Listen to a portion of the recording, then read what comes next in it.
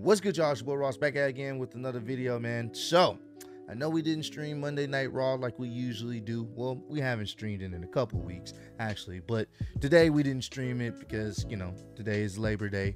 And uh, we kind of just wanted to take a break uh, today and, you know, trying to kind of chill with our families, relax, not really worry about too much content related stuff. So that's the reason why we didn't stream this particular week but uh, I think we may end up streaming next week, so we'll keep you guys posted. But I wanted to definitely check uh, check out some of the things off camera uh, whenever you know I got back home, and that's what I did. Checked out you know some of the highlights from Monday Night Raw, and I had to talk about main event Jey Uso starting off Monday Night Raw. I really wanted to get into that.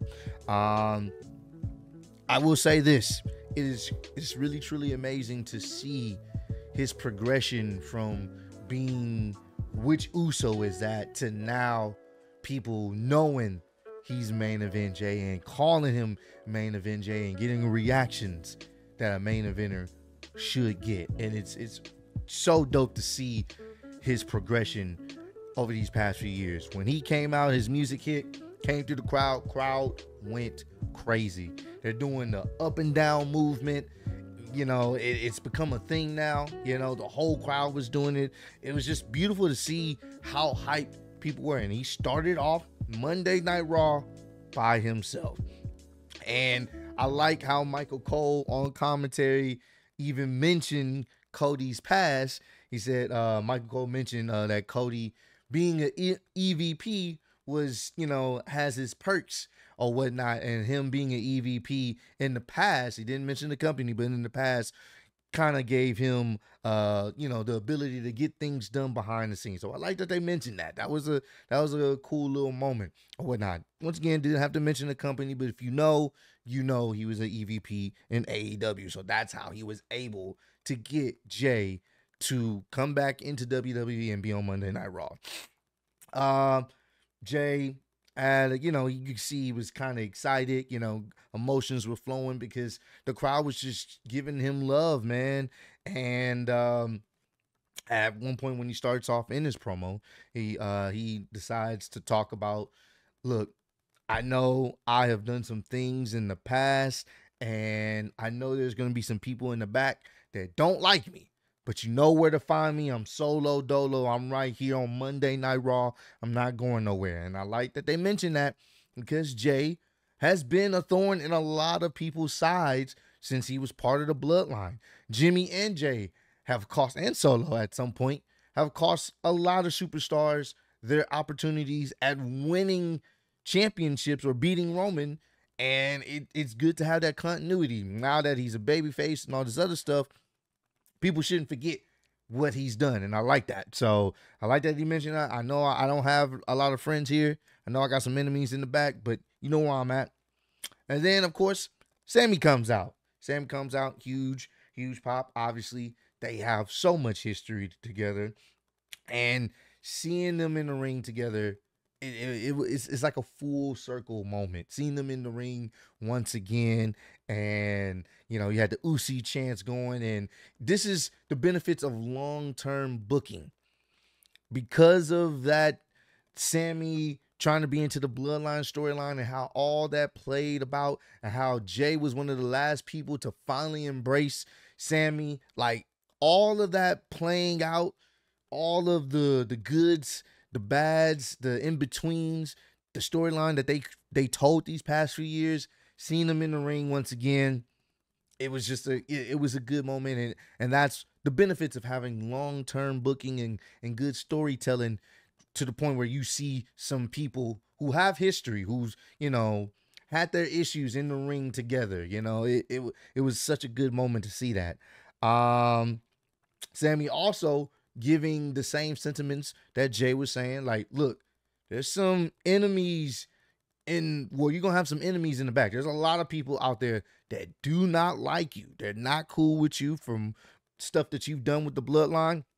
But he came out there to let him know, I am happy that you're here. I am proud of you.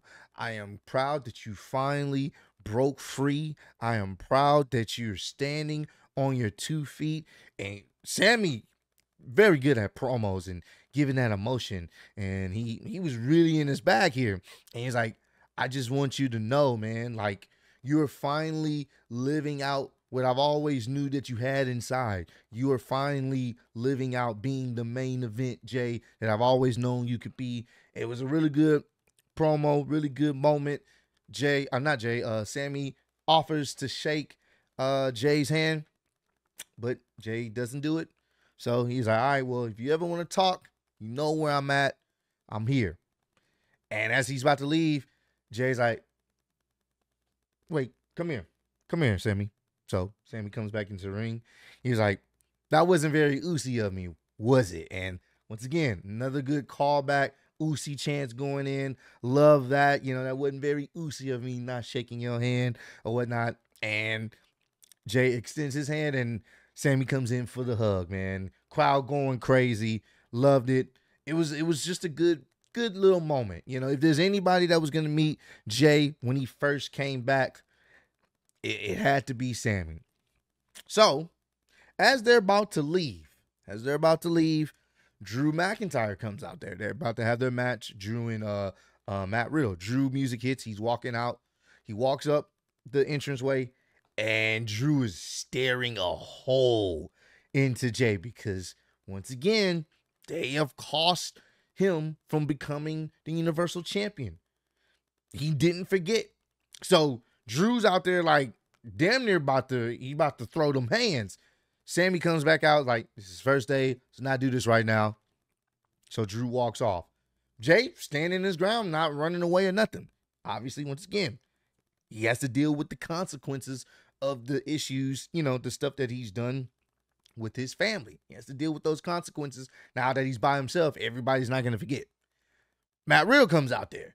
Matt Riddle sees him and he's not smiling. He's not doing the bro stuff. He's just looking right, staring a hole through him too. Because once again, they have cost him, Jey and Jimmy have cost him an opportunity to be the Universal Champion as well. And per storyline that we're still going off of, um, the bloodline was the reason that Randy Orton was written off TV. They took him off TV. They injured him. So Matt Riddle has some issues, and Sami is out there trying to not right now. It's his first night. Let's not do this now. Sami being the the peacemaker in the situation, and Matt Riddle walks away.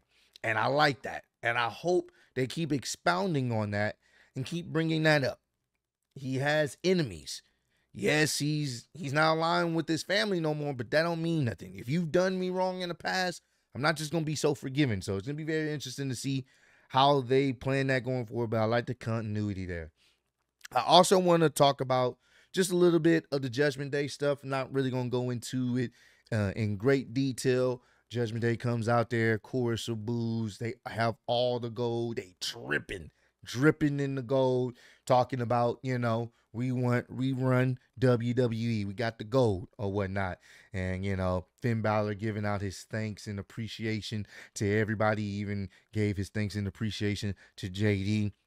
And then Rhea says something very interesting. She says, You know what's grinding my gears? She didn't say that verbally, but word for word. But you know what's annoying me is the fact that everyone's supposed to be talking about what the Judgment Day has accomplished, but instead they're talking about Jey Uso coming to Monday Night Raw. They shouldn't be talking about that. You know, they she has some issue with that. If anything, they should be talking about the Judgment Day. The bloodline has fallen, and the Judgment Day is the most dominant faction in WWE, which, as of right now, they are. it is no question. Bloodline was for many years, but now it's the Judgment Day. So then JD comes out oh, or whatnot. Damian Priest is getting kind of annoyed. Like, what you out here for?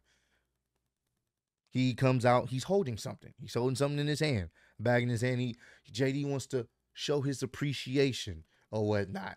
He's kind of coming off like like Sami was. If you guys remember Sami doing whatever he can to get into the bloodline, that's literally the same story except with a whole bunch. I mean, well, technically the bloodline was a whole bunch of heels. So except Sami was the likable baby face that wanted to be with the cool kids. JD is just a prick and a heel who wants to be with the cooler heels or whatnot. So it's kind of the same parallels there, which I find very interesting. Um, JD comes out there, he has something. He's holding something, and he he tells Damian Priest, "You don't need that champ. You don't need that briefcase anymore." JD, uh, Damian Priest about to get upset, and he reveals what was in the bag. JD pulls out a brand new custom money in the bank briefcase. And I'm not gonna lie to you, I like it. It says señor money in the bank is in purple. I like it, which leads me to believe he's gonna have that for a while. Because they don't often like it's it we haven't seen them do like a custom money in the bank briefcase for a particular wrestler in a while. So that means they're gonna do something with him. It's been a minute since we've seen seen that, which means he's gonna hold it for a while, which I'm okay with. Uh, it's gonna be very interesting to see how they play this out and when they will have him pull the trigger uh, to cash it in. But I do like the briefcase. I do like the fact they gave him that custom briefcase. It, it gives me good hope that they're they have some plans for Damian Priest. I will say that they have some plans for him. Hopefully, it does pan out going forward. So it was cool to see a custom briefcase for the Money in the Bank holder this year, and I do like it. Señor Money in the Bank.